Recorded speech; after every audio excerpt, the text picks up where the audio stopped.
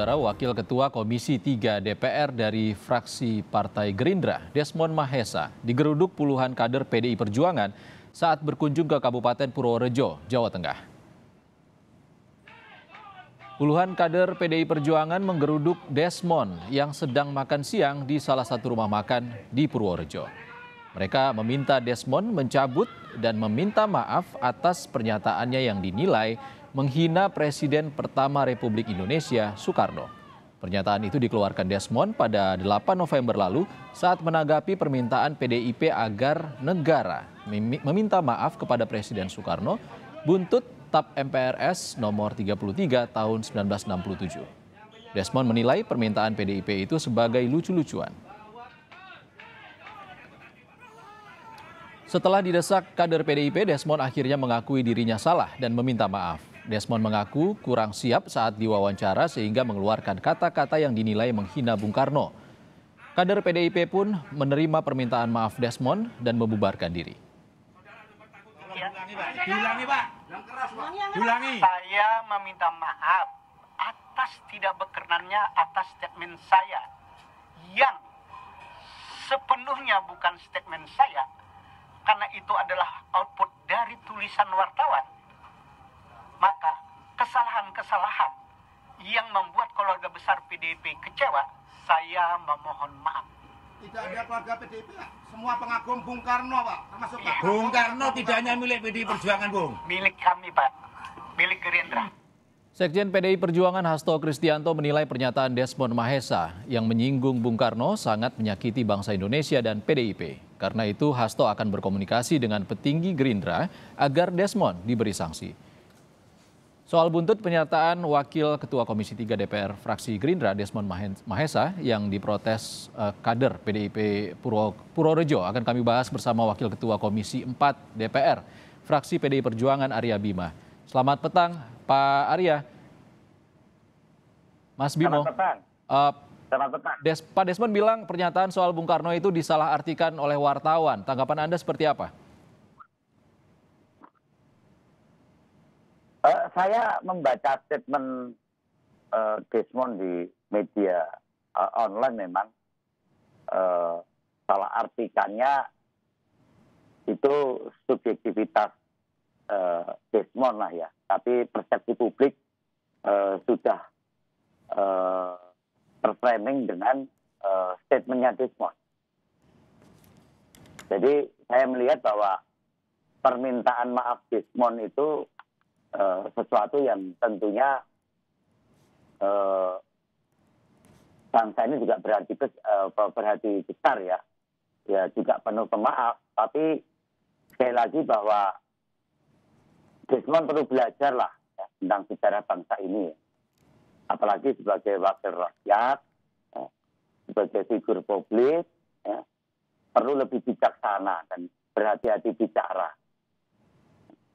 bukanlah ada pepatah bahwa mulutmu ada harimaumu. Karena persoalan uh, ini bukan persoalan yang tidak ada bangunan hukum dan sejarah uh, pembicaraan dari awal mengenai hal-hal yang terkait dengan uh, TAP MPRS nomor 17 tahun 67 yang mana uh, proses daripada uh, bangsa ini untuk lebih bisa terjadi rekonsiliasi ya antara yang selalu membicarakan pro dan kontra mengenai Bung Karno okay. itu kemudian dapat segera tuntas dan bagaimana kerukunan segenap anak bangsa ini. Oke, Pak Bimo, kalau lalu, permintaan maaf uh, Desmond, apakah sudah cukup untuk meredam respons ataupun reaksi daripada kader PDIP?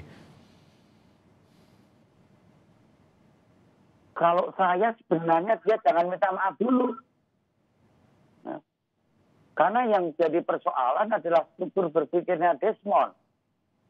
Desmond hanya minta maaf karena statementnya berakibat terhadap uh, uh, apa ya respon publik yang uh, kecewa. Ya. Respon publiknya loh. Kalau saya menginginkan sebenarnya Desmond mempertahankan saja apa yang disampaikan sehingga kita bisa bicara lebih lebih membawa persoalan ini ke struktur bangunan hukum yang harus eh, diyakini Desmond seperti apa sih kan gitu. Ya. Ini yang yang menurut saya eh, perlu dikelirkan supaya pandangan sikap pro kontra itu eh, akan lebih jernih dan bagaimana anak-anak muda generasi saat ini ya, itu mampu bersikap ya, lebih dewasa dan bagaimana eh, hal-hal yang terkait dengan persoalan sejarah itu mampu eh, diluruskan, ya. apalagi juga menyangkut eh, soal eh, Bung Karno. Ini Oke. yang yang yang saya khawatirkan bahwa eh, Desmond tidak memahami benar bahwa bagaimana perubahan eh, TAP MPR nomor 17 MPR 67 itu sendiri yang memang sudah tidak diperlukan lagi? Karena tidak bisa ditindaklanjuti. Dan itu sudah dipertegas di dalam TAP MPR nomor 1 MPR 2003 tentang peninjauan terhadap materi dan status hukum ketetapan MPR MPR RI tahun 60. Ini yang yang menurut saya bisa-bisa konstruksi bangunan hukum Desmond mengenai TAP MPR nomor eh, Oke. 17 MPR 67 ini masih dalam konsepsi yang lama. Sementara proses yang terjadi sudah jelas bahwa eh, perubahan dari eh, hal yang terkait dengan TAP MPR nomor nomor 17 itu Oke, Pak Bima. Di- kalau dari Sekjen PDI Perjuangan, Pak Hasto kan akan berkomunikasi dengan Partai Gerindra, eh, dengan Pak Prabowo dan juga Ahmad Muzani, minta Desmond ditindak. Sanksi apa yang diharapkan dari PDIP? Oh, itu wilayah dari internal Gerindra ya. Yang lebih penting lagi ini kan eh, satu persepsi yang tidak bisa tidak dalam posisi eh, Desmond sebagai pejabat publik juga sebagai wakil eh, ketua Komisi 3.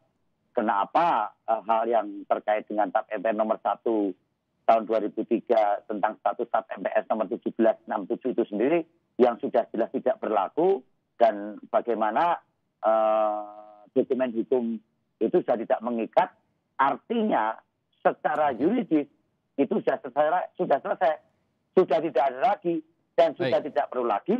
Dan bagaimana negara menindaklanjuti mengenai hal tersebut pemberian rehabilitasi. Baik, kita itu, eh, Pak eh, Bima kita tunggu bagaimana hasil komunikasi dari Sekjen PDIP Desmond- dengan pihak Partai Gerindra terkait kasus ini. Eh, terima kasih Wakil Ketua Komisi 4 fraksi PDI Perjuangan Arya Bima sudah bergabung di Kompas Petang.